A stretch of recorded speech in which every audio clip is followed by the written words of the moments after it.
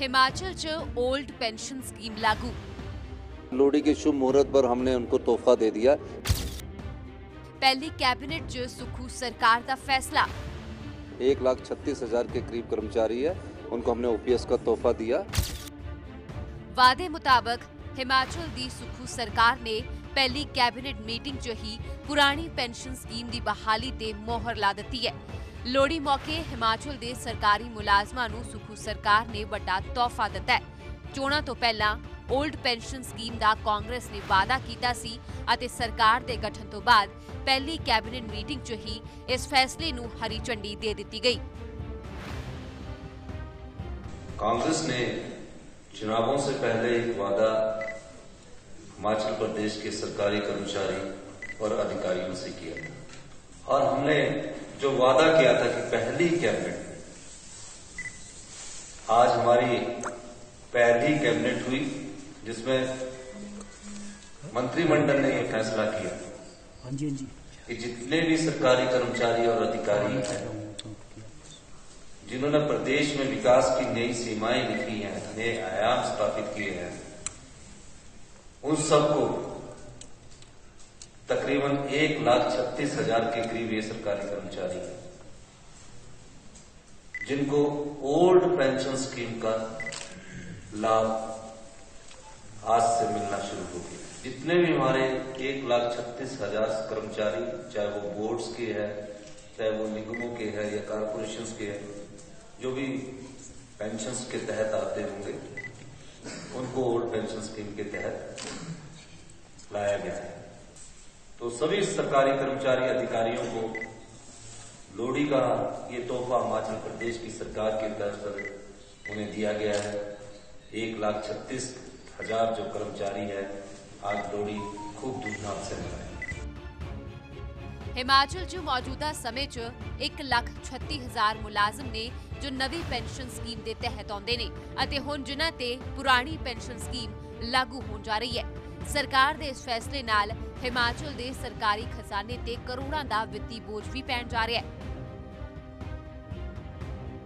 तकरीबन नौ ग्यारह हजार करोड़ रुपए का तो एरियर है एक हजार करोड़ इसका पड़ेगा तो बारह हजार करोड़ रुपया ये है पचहत्तर हजार करोड़ का कर्जा है 900 संस्थान खोल देते तो पाँच हजार करोड़ का कर्जा और बढ़ गया था लेकिन हमने फैसला किया इन सब आर्थिक संकट से जूझने के बाद भी हमारा जो वादा था उस वादे को निभाया ਚੋਣਾਂ ਤੋਂ ਪਹਿਲਾਂ ਪੁਰਾਣੀ ਪੈਨਸ਼ਨ ਸਕੀਮ ਦੀ ਬਹਾਲੀ ਵੱਡਾ ਮੁੱਦਾ ਸੀ ਹਿਮਾਚਲ ਦੇ ਮੁਲਾਜ਼ਮ ਪੁਰਾਣੀ ਪੈਨਸ਼ਨ ਸਕੀਮ ਦੀ ਬਹਾਲੀ ਨੂੰ ਲੈ ਕੇ ਲੰਬੇ ਸਮੇਂ ਤੋਂ ਪ੍ਰਦਰਸ਼ਨ ਕਰ ਰਹੇ ਸਨ ਚੋਣਾਂ ਦੌਰਾਨ ਕਾਂਗਰਸ ਨੇ ਹਿਮਾਚਲ ਦੇ ਲੋਕਾਂ ਨਾਲ ਸਰਕਾਰ ਬਣਨ ਤੇ ਪੁਰਾਣੀ ਪੈਨਸ਼ਨ ਸਕੀਮ ਦੀ ਬਹਾਲੀ ਦਾ ਵਾਅਦਾ ਕੀਤਾ ਸੀ ਅਤੇ ਪਹਿਲੀ ਹੀ ਕੈਬਨਿਟ 'ਚ ਇਸ ਵਾਅਦੇ ਨੂੰ ਅਮਲੀ ਜਾਮਾ ਪਹਿਨਾ ਦਿੱਤਾ ਗਿਆ ਤੁਹਾਨੂੰ ਦੱਸਦੇ ਹਾਂ ਕਿ ਆਖਰ ਦੋਵਾਂ ਸਕੀਮਾਂ ਦੇ ਵਿੱਚ ਫ਼ਰਕ ਕੀ ਹੈ।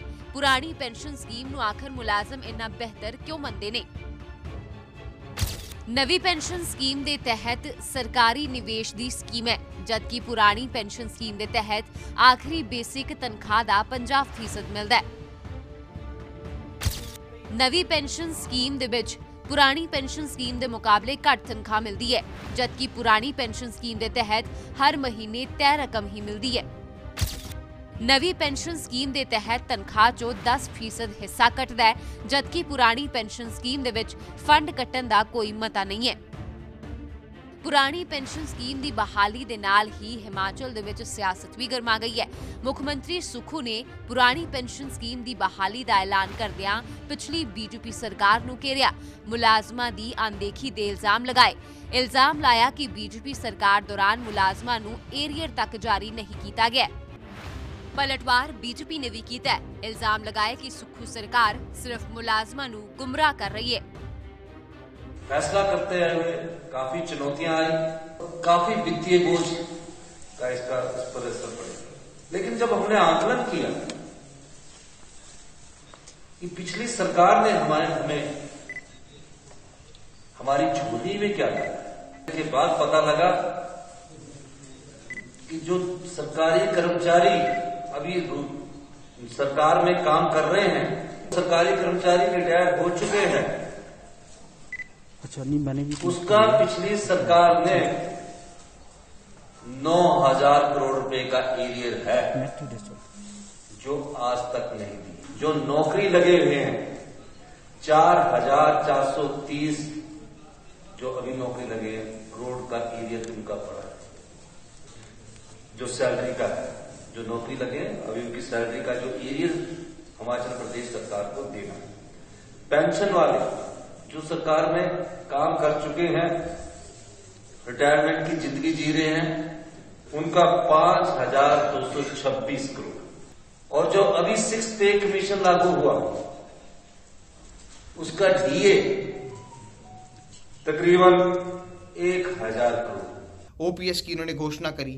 एक लाख छत्तीस हज़ार लोगों को ओपीएस देने की प्रदेश सरकार ने घोषणा करी। उसके बाद सीधा जो है, वो केंद्र सरकार की ओर देखा कि छियासी हज़ार करोड़ तो केंद्र सरकार ने देने हैं। केंद्र सरकार ने वो जो पैसा लिया है, वो ऑलरेडी इन्वेस्टेड हो चुका है और वो राष्ट्र निर्माण की ओर चल जा चुका है। जब एम्प्लॉय एक रिटायर होता है तो उसमें वो पैसा एम्प्लॉय को दुगनी तादाद के साथ मिलता है। मैं आपके सामने लाना चाहूँगा कि छत्तीसगढ़ में भी ऐसी घोषणा हुई थी, पर अभी तक वो घोषणा लटकी हुई है ਸੁਖੂ ਸਰਕਾਰ ਦਾ ਇਲਜ਼ਾਮ ਹੈ ਕਿ ਜੈਰਾਮ ਠਾਕੁਰ ਦੀ ਸਰਕਾਰ ਉਹਨਾਂ ਤੇ ਕਰੋੜਾਂ ਦਾ ਵਿੱਤੀ ਬੋਝ ਪਾ ਕੇ ਗਈ ਹੈ ਪਰ ਬਾਵਜੂਦ ਇਸ ਦੇ ਉਹਨਾਂ ਦੀ ਸਰਕਾਰ ਨੇ ਮੁਲਾਜ਼ਮਾਂ ਨਾਲ ਕੀਤਾ ਆਪਣਾ ਵਾਅਦਾ ਨਿਭਾਇਆ ਹੈ।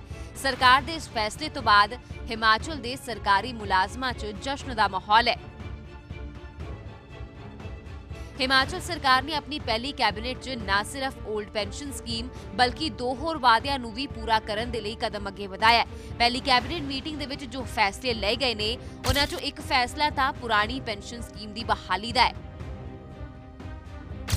ਇਸ ਤੋਂ ਇਲਾਵਾ 1 ਲੱਖ ਨੌਜਵਾਨਾਂ ਨੂੰ ਰੋਜ਼ਗਾਰ ਦੇਣ ਦੇ ਲਈ ਕੈਬਨਿਟ ਸਬ ਕਮੇਟੀ ਦਾ ਗਠਨ ਕਰ ਦਿੱਤਾ ਗਿਆ ਇਸ ਦੇ ਨਾਲ ਹੀ ਔਰਤਾਂ ਨਾਲ ਕੀਤਾ 1500 ਰੁਪਏ ਦਾ ਵਾਅਦਾ ਪੂਰਾ ਕਰਨ ਦੇ ਲਈ ਵੀ ਕੈਬਨਿਟ ਸਬ ਕਮੇਟੀ ਬਣਾ ਦਿੱਤੀ ਗਈ ਹੈ तीन फैसले किए गए आज एक ओल्ड पेंशन स्कीम आज से लागू कर गई है और जो पंद्रह सौ रुपये देने की बात थी उसके लिए सब कमेटी बन गई है कैबिनेट की वो तीस दिन के भीतर रिपोर्ट देगी और तीसरा फै- फैसला एक लाख रोजगार पैदा करने का था वो हमने फैसला कर लिया है और उसके लिए भी कैबिनेट सब कमेटी बन गई है तीस दिन के भीतर वो अपनी रिपोर्ट सबमिट करेगी और उसके बाद वो फैसले लागू किए जाएँगे। ये सरकार केवल सब कमेटी वाली सरकार बन के रह गई है। पंद्रह सौ रुपये की घोषणा इन्होंने महिलाओं के लिए करी और प्रति माह महिलाओं को पंद्रह सौ देने की बात करते हैं। उस पर मापदंड बनाएँगे। पहले तो ये मापदंड नहीं है जब वादा कर रहे थे, एक लाख युवाओं के लिए एक योजना बनाने की बात करी कि हम एक रोड मैप बनाएँगे, वो भी सब कमेटी बनाएगी। पहले जब इन्होंने वादा किया था तब ऐसी कोई बात नहीं हुई थी ये सरकार केवल सब कमेटी सब कमेटी और सब कमेटी की सरकार है ਚੋਣਾਂ ਤੋਂ ਪਹਿਲਾਂ ਕਾਂਗਰਸ ਨੇ ਹਿਮਾਚਲ ਦੇ ਲੋਕਾਂ ਨਾਲ ਜੋ ਵਾਅਦੇ ਕੀਤੇ ਸਨ ਉਹਨਾਂ 'ਚ ਪੁਰਾਣੀ ਪੈਨਸ਼ਨ ਸਕੀਮ ਦੀ ਬਹਾਲੀ ਦਾ ਵਾਅਦਾ ਅਹਿਮ ਸੀ ਇਸ ਤੋਂ ਇਲਾਵਾ 5 ਲੱਖ ਸਰਕਾਰੀ ਨੌਕਰੀਆਂ ਦਾ ਵਾਅਦਾ ਪਹਿਲੀ ਕੈਬਨਿਟ ਦੇ ਵਿੱਚ ਹੀ 1 ਲੱਖ ਰੋਜ਼ਗਾਰ ਦੇਣ ਦਾ ਵਾਅਦਾ ਔਰਤਾਂ ਨੂੰ ਹਰ ਮਹੀਨੇ 1500 ਰੁਪਏ ਦੇਣ ਦਾ ਵਾਅਦਾ। ਇਸ ਤੋਂ ਇਲਾਵਾ 300 ਯੂਨਿਟ ਬਿਜਲੀ ਮੁਫਤ ਦੇਣ। ਘੱਟੋ ਘੱਟ ਮਜ਼ਦੂਰੀ ਵਧਾਉਣ। ਖੇਤੀ ਅਤੇ ਬਾਗਬਾਨੀ ਆਯੋਗ ਦੇ ਗਠਨ ਤੋਂ ਇਲਾਵਾ 10 ਗਾਰੰਟੀਆਂ ਦਿੱਤੀਆਂ ਗਈਆਂ ਸਨ। ਇਹਨਾਂ ਚੋਂ ਤਿੰਨ ਅਹਿਮ ਗਾਰੰਟੀਆਂ ਤੇ ਕੰਮ ਸ਼ੁਰੂ ਹੋ ਗਿਆ ਹੈ। ਹਾਲ ਹੀ ਦੇ ਵਿੱਚ ਹਿਮਾਚਲ ਸਰਕਾਰ ਡੀਜ਼ਲ ਤੇ ਵੈਟ ਵਧਾਉਣ ਕਾਰਨ ਸਵਾਲਾਂ 'ਚ ਘਿਰੀ ਸੀ। ਡੀਜ਼ਲ ਮਹਿੰਗਾ ਹੋਣ ਕਾਰਨ ਲੋਕਾਂ ਦੇ ਵਿੱਚ ਰੋਸ ਪਾਇਆ ਗਿਆ ਸੀ। ਪਰ ਪੁਰਾਣੀ ਪੈਨਸ਼ਨ ਸਕੀਮ ਦੀ ਬਹਾਲੀ ਦੇ ਨਾਲ ਸੁਖੂ ਸਰਕਾਰ ਨੇ ਸਰਕਾਰੀ ਮੁਲਾਜ਼ਮਾਂ ਨੂੰ ਖੁਸ਼ ਕਰਨ ਦੀ ਕੋਸ਼ਿਸ਼ ਕੀਤੀ ਹੈ।